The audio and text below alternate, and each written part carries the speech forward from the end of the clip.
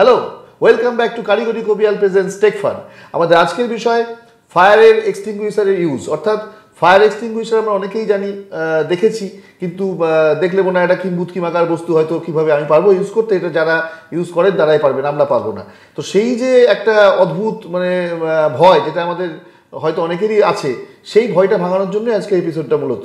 কিচ্ছু নেই হাতি ঘোড়ার মধ্যে বেসিক্যালি আমরা আজকের দিনে যে তিন রকমের এক্সটিংগুইশার ইউজ করি, সেটা হচ্ছে CO two type foam type এবং ডিসিপি টাইপ তো এইগুলো বিভিন্ন আগুনের জন্য মানে ধরুন আগুনের সোর্স তো বিভিন্ন রকম হয়, কখনো ইলেকট্রিক্যাল ফায়ার হয়, কখনো আমাদের তেল থেকে ফায়ার হয়, কখনো গ্যাস থেকে ফায়ার হয়, কখনো নর্মাল যে ধরুন কাগজপত্র বা যেগুলো ইনফ্লেমেবল সেই মেটেরিয়াল থেকে ফায়ার হয়। তো এই ধরনের বিভিন্ন রকম ফায়ার কত রকমের জেনারেলি হয় এবং তার জন্য কী কী টাইপের এক্সটিংগুইশার কীভাবে আমরা ধরে ইউজ করতে পারি বা এক্সটিংগুইশার চিনব কীভাবে, সেইটা নিয়ে মূলত আজকের অনুষ্ঠানটা।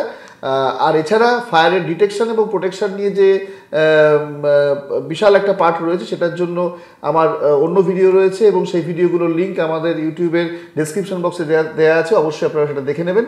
তো আজকে মূলত ইউজ অফ এক্সটিংগুইশন নিয়ে আজকে এই অনুষ্ঠানটা আমি নিজে সেটা কন্ডাক্ট করেছি, আপনারা দেখুন আমার সেই ভিডিওটা দেখতে থাকুন। আচ্ছা প্র্যাকটিক্যালি আমাদের ফায়ার এক্সটিংগুইশার যে পোর্শনটা অর্থাৎ আগুন নেভানো সেই পোর্শনটাতে মেনলি যেটা হয় হচ্ছে ম্যানুয়াল আমাদের কাছে থাকা এক্সটিংগুইশার দিয়ে। আরেকটা যেটা হয়, সেটা সরাসরি আমরা দমকল বাহিনী বা ফায়ার ব্রিগেড এসে যেটা আমাদের বাইরে থেকে জল দেয়, তার জন্য হাইড্রেন্ট পয়েন্ট রয়েছে বিল্ডিংয়ের চারপাশে। ইনসাইড দ্য বিল্ডিং অর্থাৎ বেসমেন্টেও থাকে।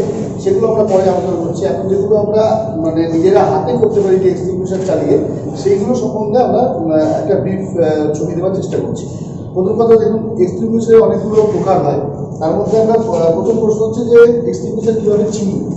এই তার আগে কথা বলি ফায়ার ফায়ারের স্পেলিং হচ্ছে এফ আই আর ফায়ার তো একটা ধরে নেওয়া হয় বা একটা সুন্দর আহ, ভাবে ব্যাপারটা বোঝানোর জন্য বলা হয় যে ফায়ারের যে চারটে লেটার অর্থাৎ এফ আই আর এর চারটে চারটে অর্থ বহন করছে।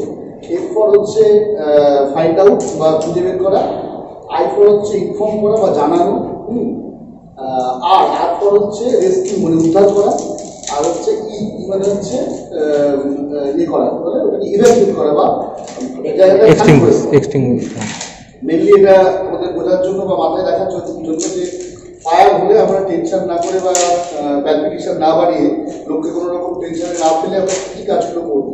আমরা ফাইন্ড আউট করব সহজভাবে সহজ মাথায়। সেটা ফায়ারের যে নিজস্ব ডিটেকশন পদ্ধতি সেটা দিয়েও করতে পারি নিজেরা চোখে দেখে বা খুঁজেও করতে পারি সেটা যেভাবে হোক সেটাকে ফাইন্ড আউট করব ইনফর্ম করব আমার পাশাপাশি যারা ফায়ার ফাইটিং মানুষরা রয়েছে তাদেরকে অবগত করার জন্য বা লোককে তোমরা টেনশন করো না আমরা দেখছি। একটা হচ্ছে রেস্কিউ করা মানে নিজের ভেতরে আটকে পড়া তাকে উদ্ধার করা। আর একটা হচ্ছে. ইভ্যাকুয়েট করা মানে হচ্ছে যে জায়গাটাকে ফাঁকা করে দেওয়া এইভাবে হচ্ছে আগুন কীভাবে তৈরি হয় তার একটা বেসিক ব্যাপার একটু বলে দিই।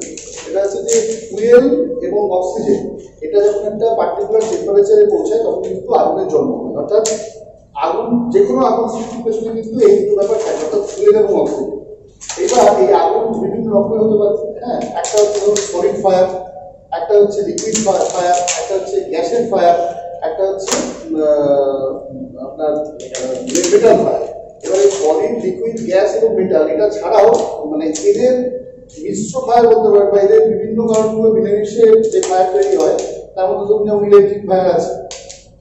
তো এবারে আমরা যদি যেটা বলছিলাম যে আমাদের এই এক্সটিংগুইশার এক্সটিংগুইশার চেনার উপায়টা এক্সটিংগুইশার চেনার উপায় মূলত হচ্ছে, এখানে যা লেখা থাকে লেখা থাকে, সেটা বাদ দিয়ে যদি আপনি সুপারফিশিয়ালি চিন্তা করেন, তাহলে এক্সটিংগুইশার চেনার উপায় হচ্ছে প্রথম কথা, এই যে আমার যেমন ধরুন, এই ডিসচার্জ পাইপটাতে একটা হর্ন লাগানো আছে, যেটা মানে সিংয়ের মতো। হ্যাঁ? এটা হচ্ছে আমার সিও টাইপ এক্সটিংগুইশার আচ্ছা এবারে এই এক্সটিংগুইশার দেখুন, এটার মধ্যে মূলত একটা সিম্পল পাইপের মতোই আছে। এটা হচ্ছে টিসিপি টাইপ এক্সটিংগুইশার আর এই এক্সটিংগুইশারটা দেখুন, যে এটা মানে একটা পাইপের আগায় আর একটা অংশ নজর টাইপের করা আছে, যেখান থেকে অ্যাকচুয়ালি ফোম জেনারেট করা যায়। এই যে ছোট ছোট ছিদ্রগুলো রয়েছে, যেখান থেকে একটা সাক করে মানে এয়ার সাক করে ফোম জেনারেট হয় এবং সেই ফোমটা নির্গম হয় এই পথ দিয়ে। তো এই টাইপের নজলের মুখ দেখলে বোঝা যাবে যে এটা এটা কিন্তু আমার ফোম টাইপ এক্সটিংগুইশার তো আজকে আমরা একটা ফায়ারের ছোট মতো একটা সোর্স তৈরি করে আমরা মূলত এই দুটো অর্থাৎ একটা হচ্ছে আমার CO two type fire extinguisher একটা ডিসিপি টাইপ ফায়ার এক্সটিংগুইশার যেটা দিয়ে আমরা ফায়ারটাকে নেভাবো আর এটাকে আমরা ইউজ করছি না কারণ এই মুহূর্তে আমাদের এটা খুব বেশি নেই। যেহেতু এটা আমরা এক্সপেরিমেন্টারি কাজ করছি এটা আমার সিলিন্ডারের সংখ্যা কম তাই আমাদের যখন সঠিক বা সত্যিকারের ফায়ার লাগবে তখন যাতে আমরা ইউজ করতে পারি তার জন্য এটাকে আমরা মিস ইউজ করছি না। জিনিসটা একই জাস্ট আমাকে এই ডিসচার্জ পাইপটা দেখে বুঝতে হবে যে ফোম টাইপের এক্সটিংগুইশার আচ্ছা এবার সলিড ফায়ারের ক্ষেত্রে আমরা কি ধরনের এক্সটিংগুইশার ইউজ করব? সলিড ফায়ারের ক্ষেত্রে আমরা আহ, জল ইউজ করতে পারি। লিকুইড লিকুইড টাইপ ফায়ারের ক্ষেত্রে আমরা ইউজ করি ফোম আর হচ্ছে তোমার গ্যাস গ্যাস টাইপ ফায়ারের ক্ষেত্রে আমরা ইউজ করি generally CO two CO two বা কার্বন মানে কার্বন ডাইঅক্সাইড টাইপ যেটা এক্সটিংগুইশার হয়। আর হচ্ছে যেটা বাকি রইল মেটাল এই মেটাল টাইপের জন্য আমরা ইউজ করি জেনারেলি ডিসিপি টাইপ সেইটা ডিসিপি টাইপ এক্সটিংগুইশার এবার আমরা একটা ফায়ারের সোর্স তৈরি করে নিই। তারপর সেখানে আমরা এই দুটো এক্সটিংগুইশারকে ইউজ করে দেখাই। ইতিমধ্যে আমরা একটা ফায়ারের সোর্স তৈরি করেছি। আমরা প্রথমে ডিসিপি একটা দিয়ে দেখাই যে কীভাবে আমরা এটাকে এক্সটিংগুইশ করব। আচ্ছা এখানে স্যার বলুন একটু স্যার। লাগানোর আগে আমরা একটা থিওরি ফলো করি বা থিওরিটাকে আমরা সংক্ষেপে বলি PASS P A double S অর্থাৎ pull the pin aim the fire S for হচ্ছে আমার সুইচ দ্য বাটন বা হ্যান্ডেল খুশি Grip. আর একটা এস মানে হচ্ছে সাইড বাই সাইড ওটাকে সরানো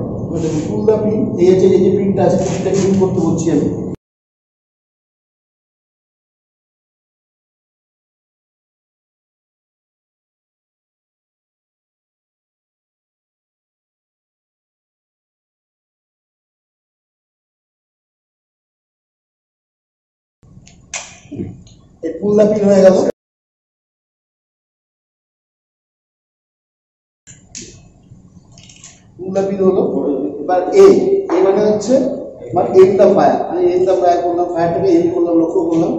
এবার সুইচ দা হ্যান্ডেল বা করলাম। এবার সাইড বাই সাইড করলাম।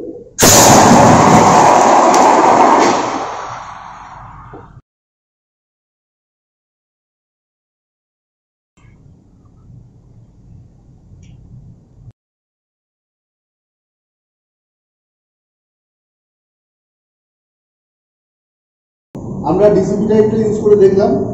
এবার আমরা ডিসিপি টাইপটা সরিয়ে নিচ্ছি।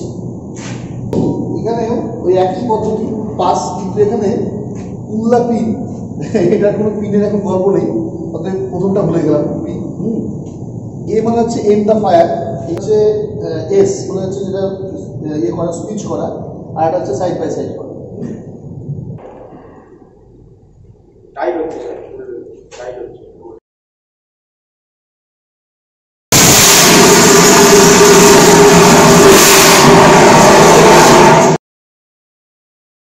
এটা কিছু ব্যাপার না জাস্ট ওই পাস মনে রাখতে হবে যে পিনটাকে পুল করে হ্যাঁ ফায়ারটাকে এম করে তারপরে আমরা ইয়েটাকে কি বলে এই যেটাকে যেটা দিয়ে আমরা ঠিক মানে যেটা দিয়ে আমরা এই যে এটাকে সুইচ করে আমরা সাইড বাই সাইড ঘোরাই।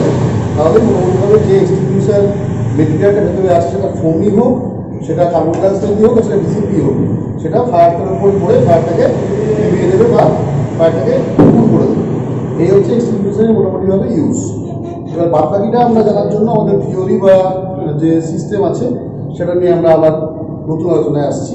Thank you viewers for watching this video আপনাদেরও যদি এরকম কোনো ঘর গৃহস্থালির টেকনোলজিগত প্রশ্ন মনে এসে থাকে, তাহলে দেরি না করে অবশ্যই পাঠিয়ে দিন আমার কাছে, আমার ইউটিউব বক্সে আপনি সরাসরি কমেন্ট করে জানাতে পারেন আপনার প্রশ্ন, অথবা আমার ইউটিউবের ডেসক্রিপশন বক্সে পেয়ে যাবেন আমার মেল আইডি জিমেল আইডি কারিগরি কবিয়াল at the rate Gmail dot com আপনারা সেই মেল অ্যাড্রেসে সরাসরি পাঠিয়ে দিন আপনাদের প্রশ্ন। কথা দিচ্ছি আপনাদের প্রশ্নের উত্তর নিয়ে হাজির হব আরও একটি নতুন এপিসোডে টিল দেন বাই বাই